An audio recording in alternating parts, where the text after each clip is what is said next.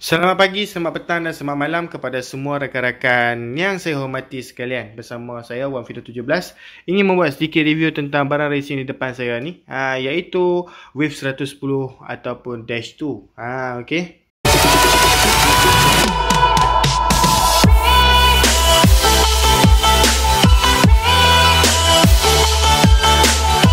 Okey, sekarang ni di depan kita ni kita ada saiz blok 53mm untuk dash. Okey, untuk pengetahuan anda semua, bentuk blok dash 1 dan dash 2 ialah sama. Blok sahaja. Tetapi untuk head lain. Okey. Head dash V1, uh, head dash V1 headnya lebih panjang, uh, lebih besar dan menggunakan cam yang lebih panjang. Tetapi untuk dash V2, uh, headnya lebih kecil dan menggunakan cam yang lebih kecil. Uh, itulah perbezaannya. So, cam racing dash 2 tidak boleh dimasukkan ke dash 1 dan dash 1 punya cam tidak boleh dimasukkan ke dash 2. Ah okey. Tetapi blok sama. Okey. Perbezaan blok dengan dash V3 pula. Dash V3 akan ada satu lubang sensor. Ah satu lubang sensor dekat blok ni. Ah satu lubang sensor dekat timing chain. Ah okey. Ada akan ada satu lubang sensor dekat timing chain. Ah itulah perbezaannya. Okey, kalau macam sekarang ni memang kita ada wave 110. Ha, okey. Perbezaannya untuk FI dia akan tulis di sini wave 110i. Ha, okey. Wave 110i bermaksud wave 110 untuk model injection. Macam ni untuk model carburetor. Okey, sekali lagi saya ulang. Block sama head lain, cam lain. Okey. CDI sama, coil sama tetapi perbezaan pada heat racing sahaja. Ah, okey. Mengapa ah, dash upgrade ah, daripada cam panjang ke cam pendek? Ah, okey. Untuk pengetahuan bos semua, ah, saya pun tak tahu. Ah, yang tu kena tanya Honda sendiri. Ah, okey. Ah, tetapi saya bagilah informasi kepada bos dan anda semua supaya anda semua tidak tersalah beli. Okey, tengoklah model anda. Dash 1, satu lampu dada di tengah. Dash 2, kita ada satu lampu di meter tu dan juga dua lampu LED di bawah. Ah, okey. Dan dash 3 macam biasa kita memang tahu bentuknya memang lebih model lebih baru dan memang model injection. Itu je beza dia. Pandangan rawak lah. Ha, bos-bos boleh cam lah dash 1, dash 2 dan dash 3. Okey. Kepada pengguna dash takkan tak tahu. Ha, okey. Tetapi kalau masih ada uh, keraguan boleh sahaja kontak saya dan bagi gambar motor saya akan jelaskan cam mana yang perlu pakai. Ha, okey. Seperti yang anda lihat sekarang. Okey, ini ialah cam dash 2 S4 high cam. Diameter 58mm. Nampak tak tu espada? Ah, mungkin di kamera ni tak boleh nampak lah. 5.8mm. Maafkan saya. 5.8mm kegemukan dia. Ah, okay. Lift dia lah. Lift. Ah, okay. Ah, nampak tak tu? Gemuk tak gemuk? Okay, cam ni. Macam biasa. Cam top speed. High cam. Ha, tetapi di antara cam-cam yang balance lah walaupun pakai cam ni tetap akan rasa kekuatan pada pickup. Ha, tetapi tidak sekuat low cam lah. Ha, okay. Jadi, jadi, jadi tuan-tuan dan perempuan mari kita lihat dengan lebih ha, terperinci. Piston macam biasa piston bonggol. Ha? Piston bonggol high compress. Okay. Piston dome lah. Ha, okay. Datang satu set. Ha, okay. Material alloy. Ha, okay. Lihatlah. Uh, saya bagi gambaran yang lebih detail supaya anda boleh lihat uh, bentuk blok anda. Okey. Supaya tidak tersalah beli nanti. Okey. Uh, nampak? Uh, 109 cm padu. Okey. Lihatlah di blok anda. 109 cm padu. Okey. Ini video pendek sahaja. Okey, saya pun malas nak menerang dengan lebih panjang sebab dua barang sahaja pun. Okey. Tuan-tuan dan puan-puan, saya mengucapkan terima kasih uh, kerana tuan-tuan dan puan-puan sudah subscribe channel saya.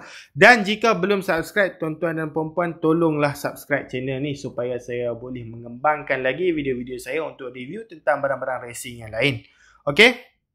Jangan lupa share kepada rakan-rakan, tekan butang like uh, dan jika tuan-tuan dan perempuan berminat, boleh terus kontak saya dengan 013-262-1635 atau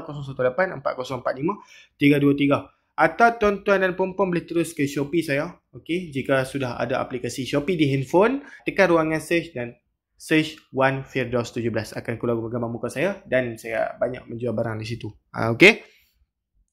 Jadi tuan-tuan dan puan kita jumpa lagi di lain video. Terima kasih kepada customer-customer yang support saya. Tinggalkan komen dan saya mungkin akan menjawab persoalan yang berada uh, bermain-main di fikir anda. Sekian, terima kasih. Jumpa lagi di lain video.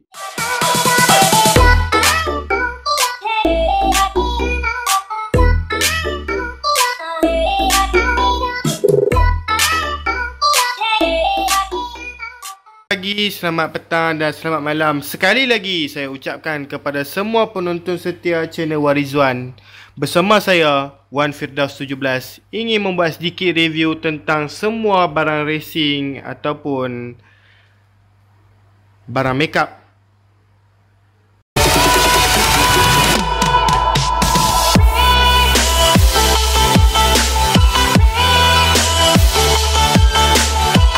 ada di depan kita pada hari ini. Yes. Terima kasih kepada semua yang sudi menonton video saya. Jadi hari ini saya tidak ada satu set khas untuk motosikal tertentu. Contohnya set KS5 Dream ke macam hari tu saya ada buat video. Hari ini kita tiada. Hari ini just saya nak tunjukkan barangan yang ingin saya post pada hari ini. Ha, apa yang barang saya ada saya share lah kepada anda semua. Okey, kita mulakan daripada kanan. Seperti biasa, saya pernah buat satu video tentang meter ni. Okey, meter yang sebelum tu saya dah jual. Dan sekarang ni, ni meter sekali lagi lah. Ha, customer lain pula yang beli. Harga 100 lebih, macam biasa. Dan function dia, dia ada di sini. Nombor 1, turn right. Nombor 2, neutral gear. Nombor 3, headlight. Nombor 4, turn left. Nombor 5, speed of motorcycle number 6 speed number 7 order number 8 switch on off number 9 speed accumulation number 10 signage number 11 the british system number 12 fuel level number 13 display screen ah tuan-tuan boleh pause video ni dan tengok ah okey tengok tengok tengok di situ harga 100 lebih meter digital ada 4 color di screen ni ya ah okey jika tuan-tuan berminat, saya akan bagi nombor. Tuan-tuan boleh uh, mesej saya dan tanya. Uh, ada video tak? Uh, saya akan tunjukkan dalam video. Uh, saya akan tunjukkan dalam WhatsApp lah. Saya akan send video dalam WhatsApp. Uh, ini nombor satu. Meter digital ES5 Dream ISO High Power boleh pakai. Uh, PNP sahaja. Okay. Siap meter RPM. Yes. Uh, okay. Nombor dua kita ada bearing ES5 Dream. Ha, ini bearing engine ES5 Dream. Bukan material fiber. Ha, ini bukan material fiber. Macam SKF, C3, semua material fiber. Yang tu lebih baik lah. Jadi, kenapa kita tukar bearing racing? Saya ada jelaskan dalam video-video sebelum ni. Penukaran bearing set racing engine ni menyebabkan lebih licin pergerakan enjin anda boleh gerakkan. Ah, okey. Fungsi bearing racing ni, bearing ni lebih licin.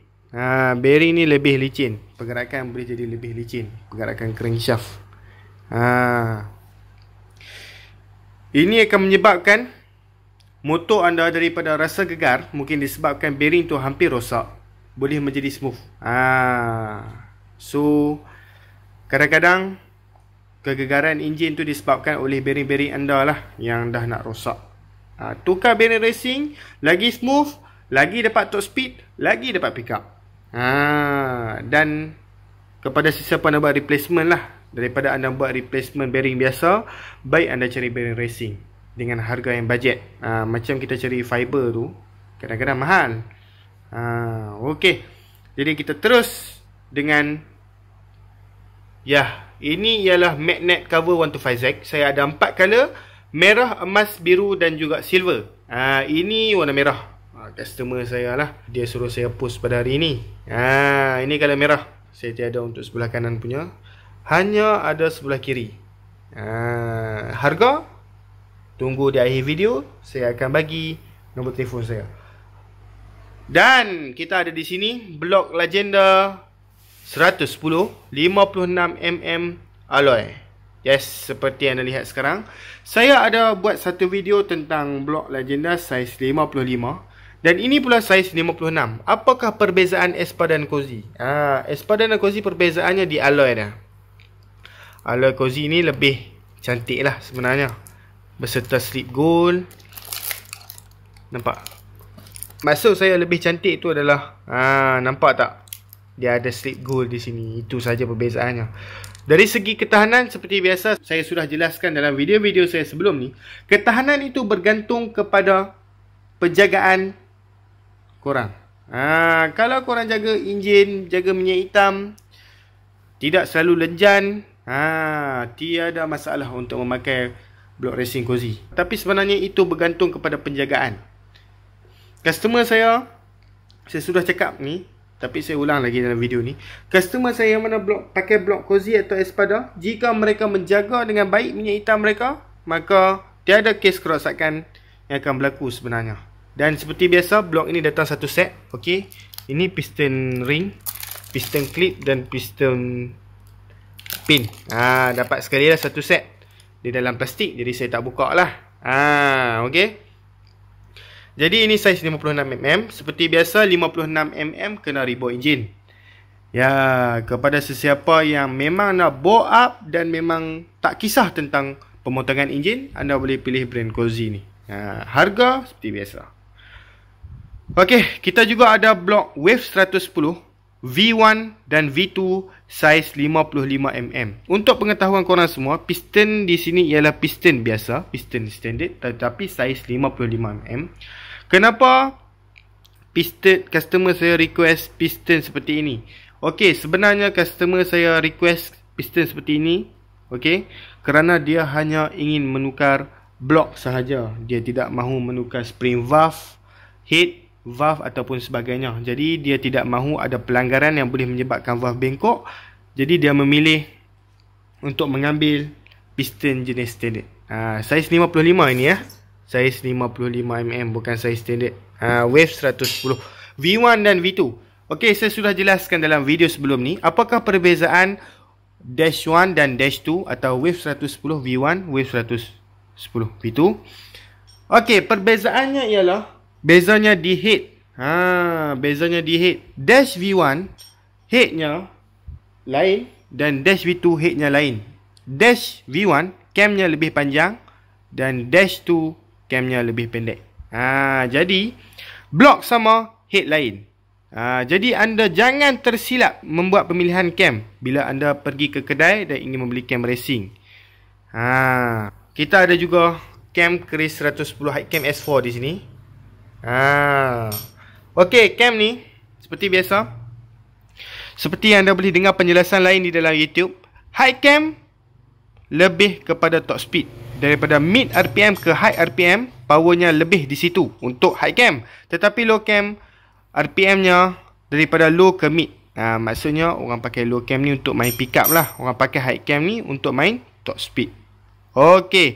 Dan kita ada sebatang exhaust GR Racing Chris 110 di sini. Baru ya. Customer saya dah nak beli dan dia nak saya postkan pada hari ini. Ya, saya pun tidak mahu buat review lah. Seperti biasa, piping 28mm dan intake tabung 51mm. Boleh masuk pelbagai-bagai jenis tabung termasuk OPBR, dying, king drag dan sebagainya. Yang intake tabung 51mm universal. Ah, 100 lebih saja ya GR Racing dan anda akan dapat sekali bracket anda akan dapat sekali bracket uh, di situ. Nampak ada tu bracket. Ha okey.